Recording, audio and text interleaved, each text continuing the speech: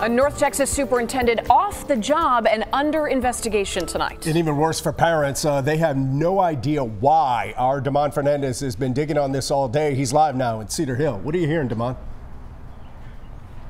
Well, hey there, Chris. Administrators back here in Cedar Hill ISD headquarters aren't saying too much about the disciplinary action taken against the superintendent, but the move has folks across this community wondering right now what's really going on.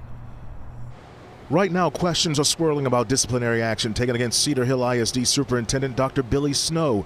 District administrators confirm the superintendent's been placed on unpaid administrative leave, but they're being tight lipped about why. It makes me question. Parents like Marie Cox among those wanting answers after learning Dr. Snow has been on leave and away from his office all week. WFAA obtained an email issued by School Board President Michael Quilden saying last week the board president and vice president learned of an allegation that we feel deserves to be thoroughly investigated. The note goes on to say the allegation doesn't involve criminal behavior, financial impropriety, nor any students of Cedar Hill ISD. Why would you be on leave unpaid? You know? So, as a parent, and I have a mother of three and a grandmother, it just makes me question. Dr. Billy Snow is relatively new to the Southern Dallas County School District. He came to Cedar Hill ISD from Dallas ISD in January last year. The school board renewed his contract and gave Snow a raise just two months ago.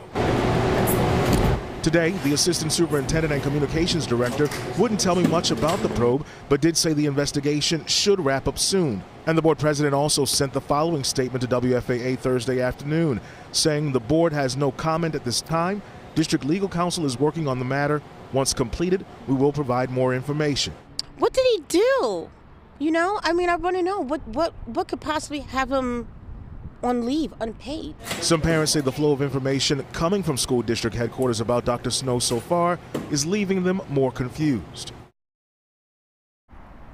And the superintendent has not responded to our request for comment today, but he will be the hot topic of discussion as the school board meets behind closed doors at meetings scheduled for tomorrow night and Saturday morning. In Cedar Hill, I'm Demond Fernandez.